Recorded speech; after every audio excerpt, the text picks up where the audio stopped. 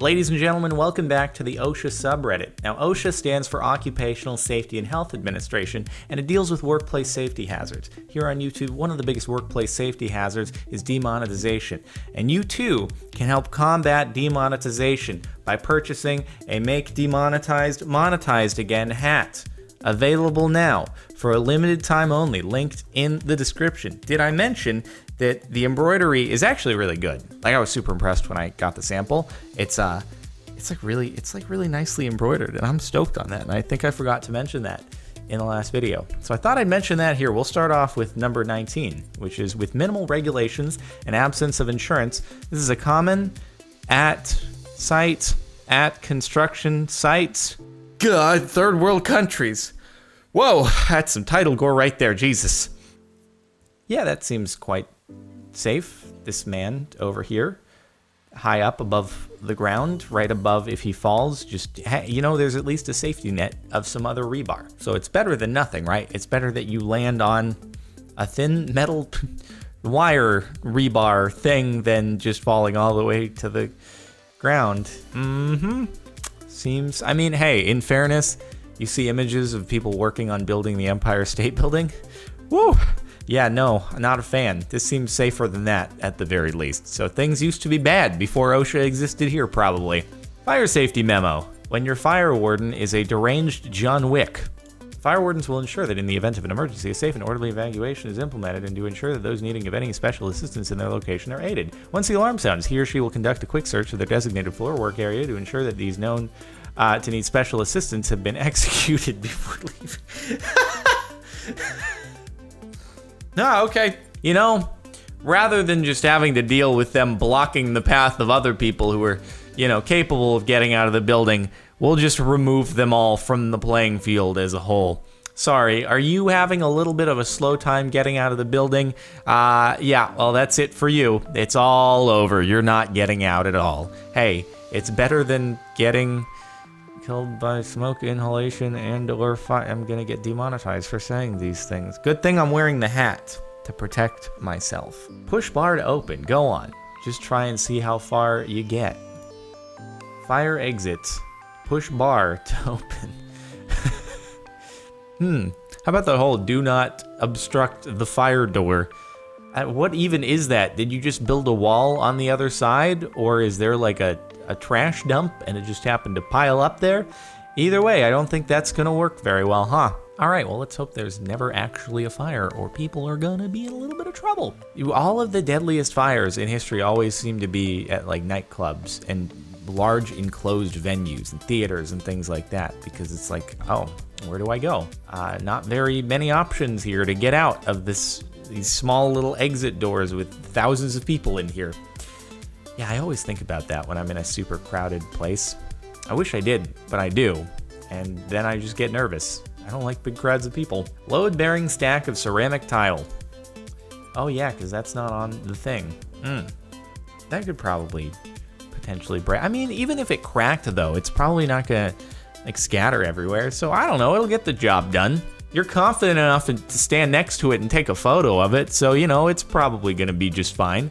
I don't know what's in those boxes either. It says Waterworks. That's a store I know of, at least kind of local to me, that has like fancy bath fixtures and stuff like that, but could be heavy. I don't know, maybe it's just real light, just a bunch of cardboard boxes. This looks reliable.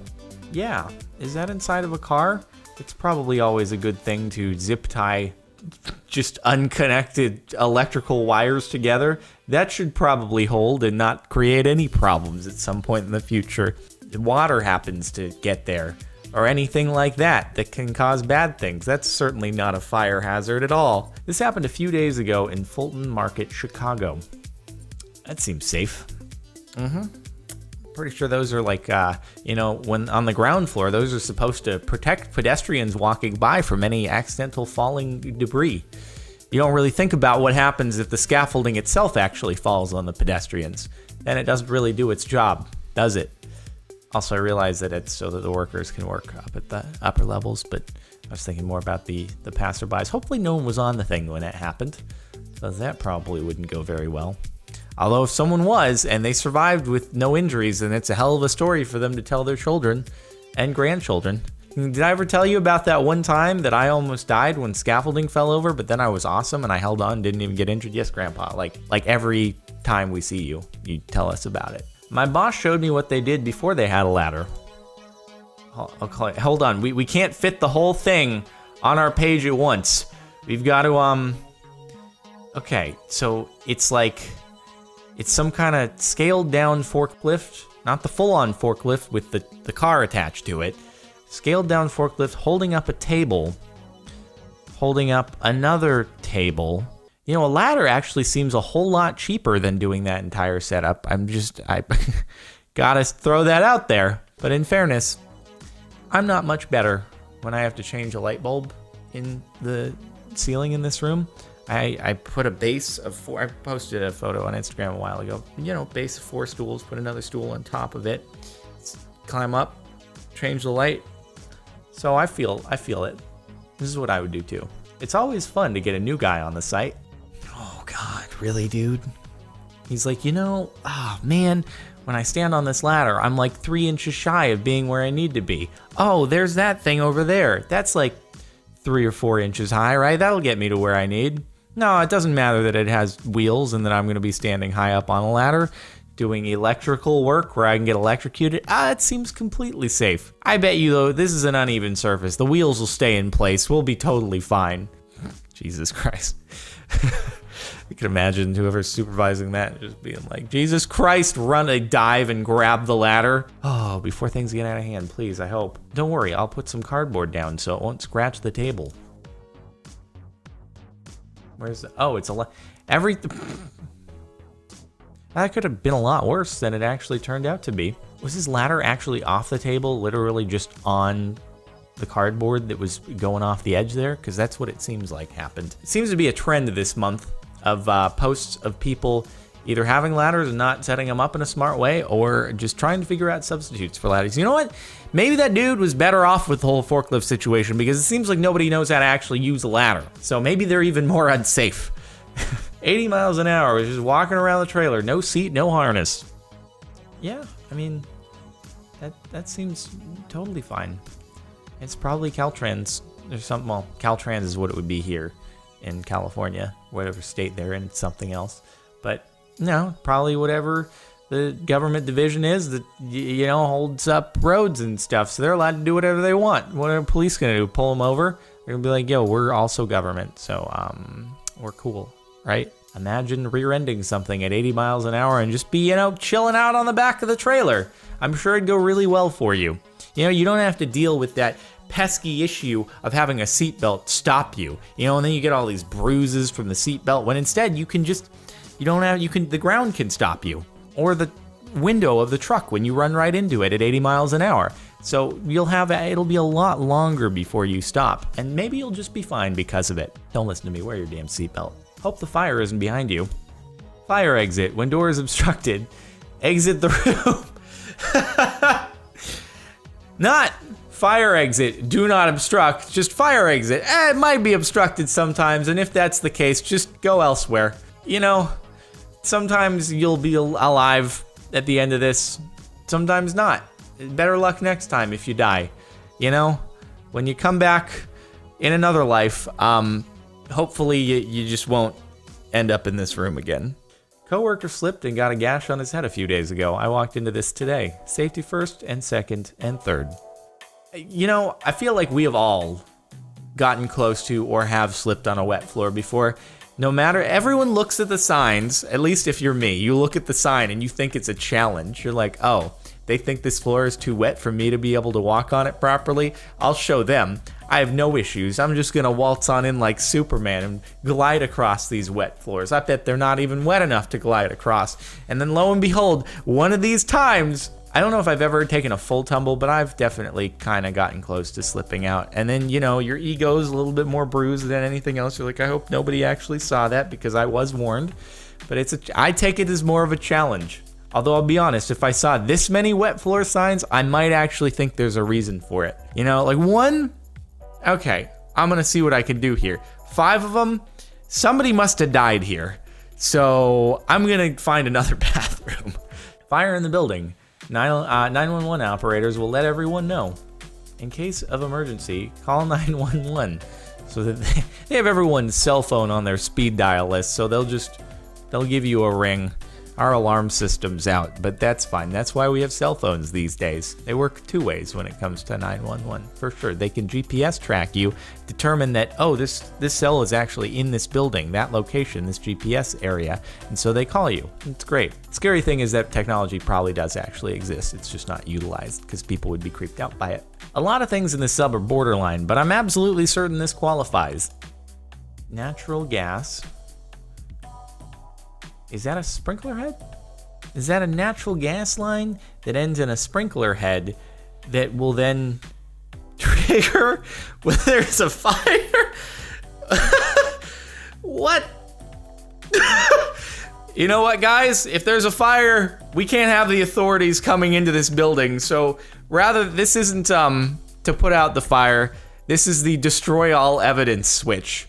It's like, you know, even a minor fire the authorities are going to have to come in. We got a lot of confidential, illegal stuff going on in here. So instead, we'll just blow the building. At the slightest sign of fire, we just release the natural gas in full force, fully open the line, and see what happens. It's great time.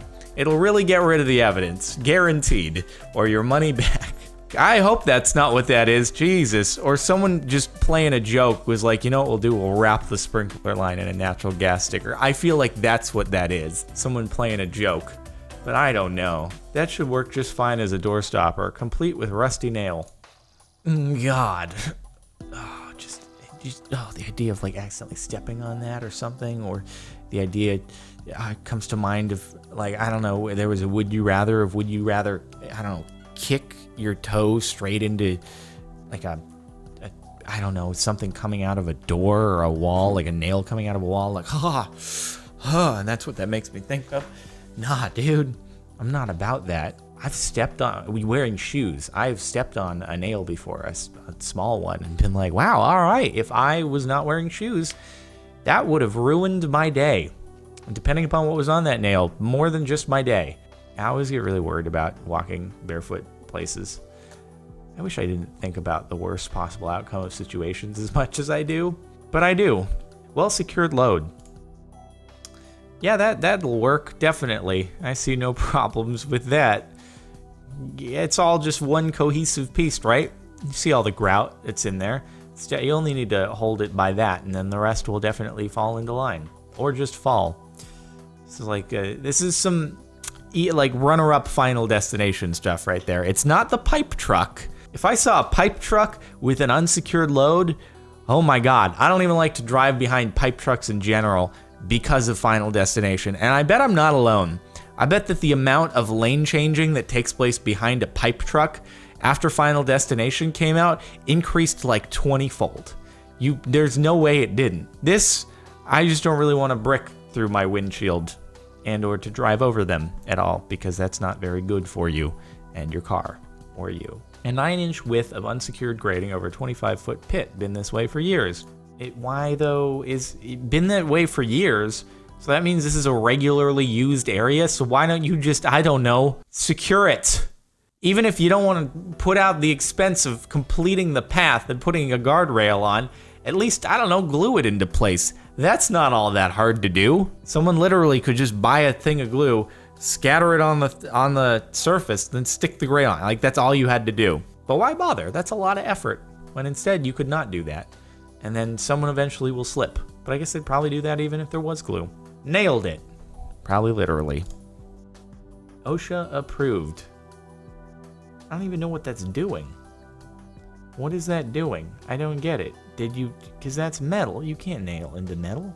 Is that the point? Oh. Oh, I... Okay. So it's a zip tie. So they nailed into the wood and then zip tied around the nails. That's kind of clever. it actually probably works okay. Because I assume that this pole ends right here. It's just resting on the wood. And you're like, all right, how do we secure it? Just nail and then tie around. Huh you know, in a pinch, I guess, why not? you sure thing. Okay, well, anyway, um, I hope you've enjoyed this last month of OSHA. Support YouTuber occupational safety health hazards by purchasing the demonetized hat. Link in the description. It's actually good quality. It's really nice. Yeah. Anyway, uh, make sure to like if you liked. Check out the playlist in the description if you want to catch up on more of these videos. Subscribe if you're not already. And if you want to listen to music playing in the background, links in the outro over on Mare Music. I'll see you next time.